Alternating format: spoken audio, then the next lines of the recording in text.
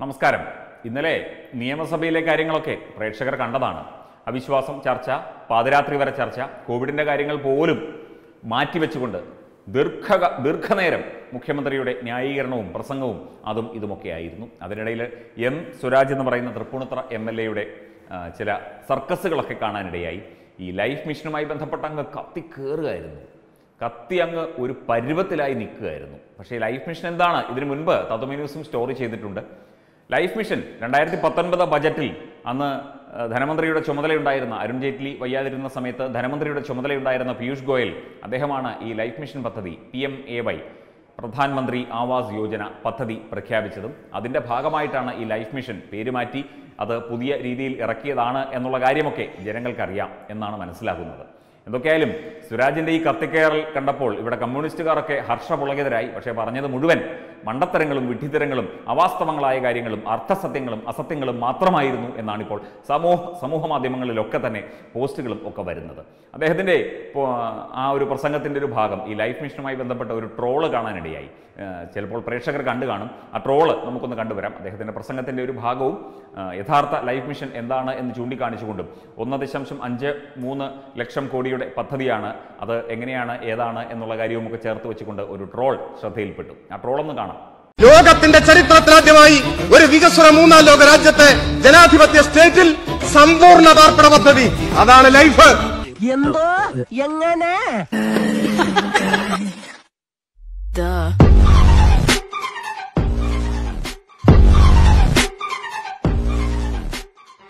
കണ്ടില്ലേ ഈ കമ്മ്യൂണിസ്റ്റുകാരുടെ കാര്യം വലിയ പാടാണ്. വർക്കല നിന്നൊരു ഫോട്ടോ ഈയിടെ സമൂഹ മാധ്യമത്തിൽ ഇന്നലെ പ്രചരിക്കുന്ന കണ്ടു. ഒരു വ്യക്തി പി എം എ വൈ പ്രധാനമന്ത്രി ആവാസ് യോജന പദ്ധതി പ്രകാരം ലഭിച്ച പണികടിപ്പിച്ച വീടിന് മുന്നിലിരുന്ന് സി പി എമ്മിന്റെ വീട്ടിനകത്തിരുന്നുള്ള അല്ലെങ്കിൽ വീടിന്റെ തിണ്ണയിലിരുന്നുള്ള സത്യഗ്രഹം കേന്ദ്ര സർക്കാരിന്റെ നടപടിക്കെതിരെയൊക്കെ കണ്ടല്ലോ. അപ്പോൾ ഒരു വ്യക്തി വർക്കല നിന്നുള്ള ദൃശ്യങ്ങളാണെന്നാണ് പറയുന്നത്. കൃത്യമായി അറിയില്ല. ആ വ്യക്തിയെ നമുക്ക് പരിചയമൊന്നുമില്ല. എന്തൊക്കെയായാലും പലരും സമൂഹ മാധ്യമത്തിലൊക്കെ പറയുന്നത് ഇത് യാതൊരു നിവൃത്തിയില്ലാതെ അദ്ദേഹം ചെയ്തു പോയതാണ് എന്നൊക്കെയാണ് പറയുന്നത്. പ്രധാനമന്ത്രി ആവാസ് യോജന പ്രകാരമുള്ള വീട് കേന്ദ്ര സർക്കാരിന്റെ പദ്ധതി പ്രകാരമുള്ള വീട് കിട്ടി. ആ വീടിന്റെ തിണ്ണയിലിരുന്ന് കേന്ദ്ര സർക്കാരിനെതിരെ സമരം ചെയ്യാൻ അല്പം ഉളുപ്പ് വേണം. അതിന് നിങ്ങളെ കൊണ്ട് മാത്രമേ പറ്റൂ. നിങ്ങളെ കൊണ്ട് ഈ സി പി എമ്മുകാരെ കൊണ്ട് മാത്രമേ ഇതൊക്കെ പറ്റൂ എന്നൊക്കെ പറഞ്ഞുകൊണ്ട് ഒരുപാട് പേർ ട്രോളുന്നത് കണ്ടു. ഇതിന്റെ ഒരു യാഥാർത്ഥ്യം. നമുക്ക് ഈ ഇതുപോലെയുള്ള പദ്ധതികൾ ഈ പി എം എ വൈ അതുപോലെ തന്നെ ഒരുപാട് മുദ്രാ ലോൺ അങ്ങനെ ഒരുപാട് പദ്ധതികളുണ്ടല്ലോ കേന്ദ്രത്തിന്. ഈ പദ്ധതികളെക്കുറിച്ചൊക്കെ തന്നെ തത്വമൈ ന്യൂസ് ഓരോ പദ്ധതികളെക്കുറിച്ചും വിശദമായി സ്റ്റോറിയൊക്കെ നൽകിയതാണ്. ഈ പദ്ധതികൾ സത്യം പറഞ്ഞാൽ ഇവിടെ കേരളത്തിൽ പലപ്പോഴും ജനങ്ങളിലേക്ക് എത്തുന്നത് കുറവാണ്. കാരണം ഒരു സംസ്ഥാനത്തിന്റെ ഒരു സഹകരണം കൂടി ഉണ്ടെങ്കിൽ മാത്രമേ ഒരു കേന്ദ്ര പദ്ധതി കൃത്യമായി നടപ്പിലാക്കാൻ സാധിക്കൂ. കേന്ദ്രം നേരിട്ട് നൽകുന്ന പദ്ധതിയാണെങ്കിൽ കൂടി. അങ്ങനെയാണല്ലോ. നമ്മൾ ഇപ്പോൾ ഞാനൊരു കാര്യം ചെയ്യുന്നു. അത് എന്റെ ഒരു സബോർഡിനേറ്റ് അത് വേണ്ട രീതിയിൽ കൈകാര്യം ചെയ്തില്ലെങ്കിൽ അത് കൃത്യമായി അത് വർക്കൗട്ട് ആവില്ല. ഞാൻ തന്നെ നേരിട്ട് എല്ലാ കാര്യങ്ങളും ചെയ്യാനുള്ള ആ ഒരു അപ്രായോഗികമായ ഒരു അവസ്ഥയുണ്ട്. പ്രായോഗികമല്ലാത്ത ഒരവസ്ഥയുണ്ട്.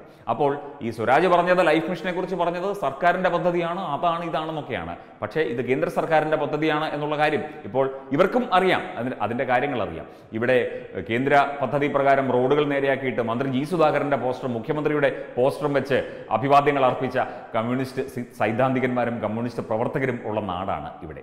എന്തൊക്കെയായാലും ഈ വർക്കൽ എന്നുള്ള ദൃശ്യം കണ്ടപ്പോൾ സത്യം പറഞ്ഞാൽ ചിരിക്കൊപ്പം സഹതാപവും സങ്കടവും ഒക്കെ തോന്നി. ഒരു വേള ചിലപ്പോൾ അദ്ദേഹത്തിന് നിവൃത്തിയില്ലാഞ്ഞിട്ടായിരിക്കാം ഈ ഒരു പരിപാടിയിൽ പങ്കെടുത്തേ മതിയാകൂ എന്നതുകൊണ്ടായിരിക്കാം. എന്തായാലും അങ്ങേക്കൊരു വീട് കിട്ടിയല്ലോ അതിനകത്ത് എന്താ എന്തായാലും സന്തോഷം. പി എം ഐ വൈ പദ്ധതി പ്രകാരം അങ്ങേക്ക് ഒരു വീട് കിട്ടി അതിൽ ഞങ്ങൾക്കെല്ലാം സന്തോഷമുണ്ട്. അതുപോലെ നിരവധി പേർക്ക് ഇതുപോലെ വീട് കിട്ടിയിട്ടുണ്ട്. അവരൊക്കെ തന്നെ വീടിന് മുന്നിൽ കൊടിപിടി കൊടിപിടിച്ച് ഇരുന്നിട്ടുണ്ടാകും എന്നാണ് മനസ്സിലാകുന്നത് കണ്ടതല്ല ഈ ഒരു ഫോട്ടോ പ്രചരിച്ചതുകൊണ്ട് മാത്രം ഇതിനെക്കുറിച്ച് പറഞ്ഞതാണ്. എന്തായാലും കേന്ദ്ര സർക്കാരിന്റെ പദ്ധതികൾ ഇവിടെ ജനങ്ങളിലേക്ക് കൃത്യമായി എത്തുന്നുണ്ട് എന്നതിന്റെ ഏറ്റവും വലിയ ഉദാഹരണമാണ് ഇത്.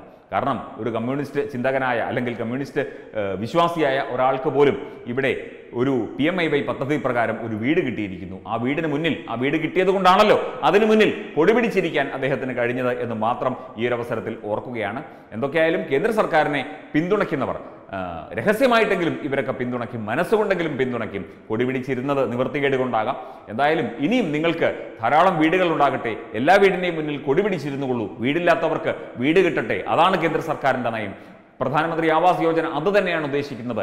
ഇവിടെ രാഷ്ട്രീയവും മതവും നോക്കിയല്ല പദ്ധതികൾ കൊടുക്കുന്നത്. ഒരാളുടെ അവസ്ഥ നോക്കിയാണ്. ഒരാൾ പാവപ്പെട്ടവനാണെങ്കിൽ അയാൾ ഏത് മതക്കാരനാണ് ഏത് പാർട്ടിക്കാരനാണ് എന്ന് പോലും ആലോചിക്കാതെ കൊടുക്കുന്ന പദ്ധതിയാണ് ഈ പി എം ഐ വൈ. അതിനെ ലൈഫ് മിഷൻ എന്നൊക്കെ പേരിട്ട് അതിന് അതിനെ ഒരുപാട് വിവരിച്ചുകൊണ്ട് ഘോരഘോരം പ്രസംഗിച്ചിട്ടൊന്നും കാര്യമില്ല തൃപ്പൂണിത്തുറ എം എൽ എ സാറേ. ഇത് കൃത്യമായി ജനങ്ങളിലേക്ക് എത്തിക്കൊണ്ടിരിക്കുകയാണ് ജനങ്ങൾക്ക് കിട്ടിക്കൊണ്ടിരിക്കുകയാണ്. കേരളത്തിൽ ജനങ്ങൾക്ക് ജനങ്ങൾ ബി ജെ പിക്ക് വോട്ട് ചെയ്തില്ലെങ്കിലും കുഴപ്പമില്ല.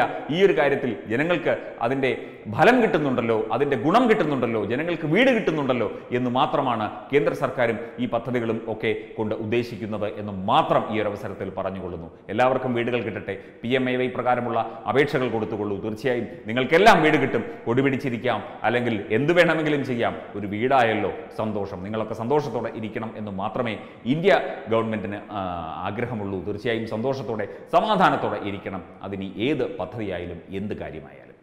web desk, not the main use.